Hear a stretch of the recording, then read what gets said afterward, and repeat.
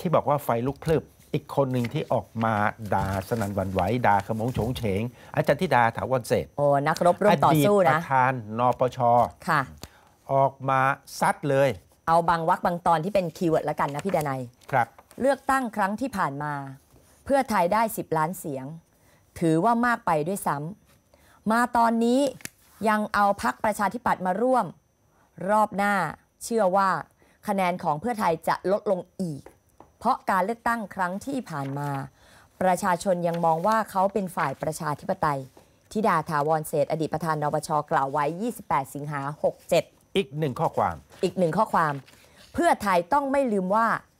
ทางเดินทุกวันนี้ ไม่ใช่อยู่ๆมีถนนให้เขาเดิน แต่เป็นทางเดินที่ผ่านซากศพประชาชนสร้างถนนให้เขาเดิน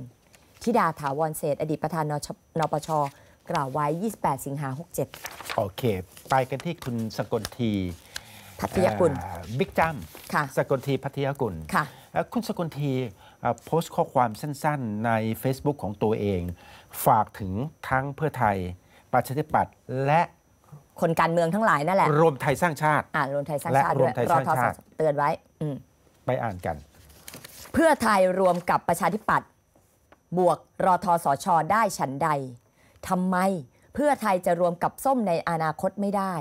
ถ้าผลประโยชน์มาลงตัว น่าคิด ติดแฮชแท็กว่า การเมืองไม่มีมิตรแท้และศัตรูที่ถาวร เออ น่าสนใจนะ ค่ะ ค่ะ เพื่อไทยรวมกับประชาธิปัตย์และเพื่อไทยก็รวมกับอืมรวมไทยสร้างชาติพักลุงตู่ ค่ะ เมื่อรวมกันได้ทำไมเอิ่มวันหนึ่งเราจะเห็นสีส้มกับพรรคเพื่อไทยเขารวมกันไม่ได้อืมเอ่อมันบอกดีไว้เหมืนนบอกไว้ให้ให้คิด